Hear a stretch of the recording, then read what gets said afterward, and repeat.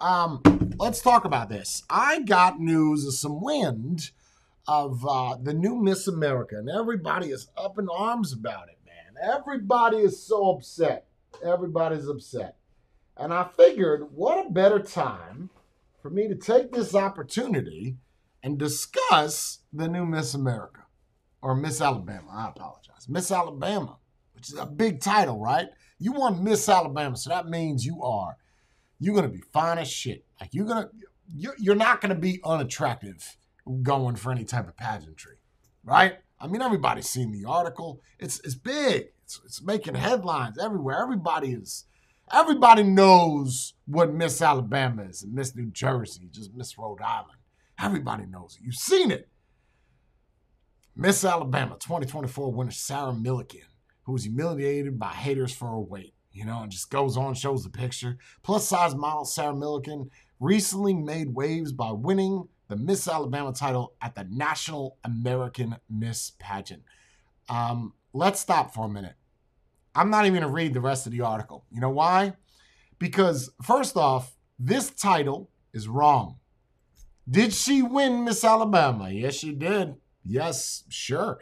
Uh, but what what is key here is that a lot of people are not going to dig and just go a little bit further than just reading the title. They're going to think that this is the regular Miss America. I just want to put this out here. This is the Miss America, the, the, the people that go for Miss America.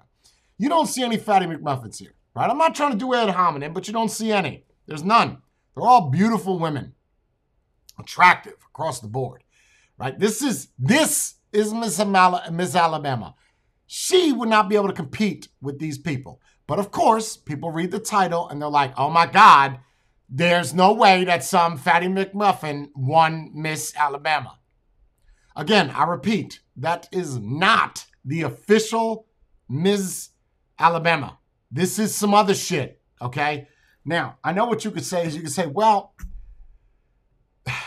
she still won Miss Alabama. It, it doesn't matter. It, it doesn't you you don't.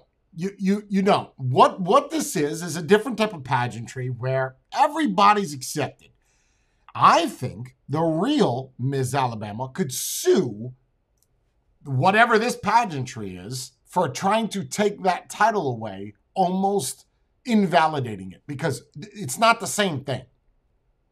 But of course everybody's up in arms. You got you got fatties winning. What the hell have we come to and it's usually people from the right wing. I'm just putting that out there. It's the people from the right wing, but they don't do enough of research. Right? They're just right off the jump, just and, and Donald Trump talks about this fake news all the time, right? We, we talk about that. This is fake news. It's it's not the official Miss Alabama. Let's just be clear. Now you do have a caveat in there of a problem that, well, if if a pageantry is doing this, you're kind of making a mockery of what the original Miss Alabama and Miss America stands for. It's for beauty, elegant, uh, attractiveness, sexy, walking. Walking. There's so much that's involved with the the pageantry. People that have no idea about the pageantry are first to comment and say that this should not be accepted. The fact that they made one to allow plus size models, yes, it does irritate me. What do you expect? Don't believe everything you read online because when you look it up online, believe me, I searched. I was searching for a good three minutes, and I'm a pretty quick searcher. I was just trying to find some kind of official news about Miss Alabama.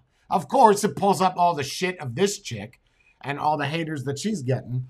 Um, I want to see the bikini part. That's what I want to see. I want to see the rest of the lineup. I want to see you do the walk. I want to see you do the conversation. But you can't find much on this aside from this person having to come defend her honor, um, a lot of haters, a lot of trolls coming online saying that you shouldn't have won Miss Alabama. She, in theory, did not win Miss Alabama. She won Miss Alabama for the national. I, I just want to show you something. This is the not. Okay, look, let me help you out a little bit. This is the official website for the NAMIS, not N A M I S S. And you see these other people all right. I just want you to look at those people, and then we're just going to move over here and look at these people. You tell me. Okay. You see what we're looking at? We're looking at eyebrows over here. I'm not going to touch. I'm not going to touch that. I'm just, I'm going to stay away from that. I'm going to stay away from like from here on. Um, this chick, eyebrow, eyebrow Susan, she can't compete with these people. She just can't. It's a different bracket. You don't belong in that fight, right? So I'm not gonna touch that.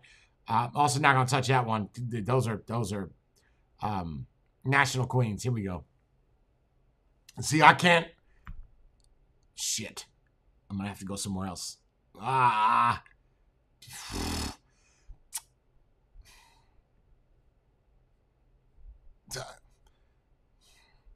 I don't know why there's so many kids on this. I don't know what's happening, but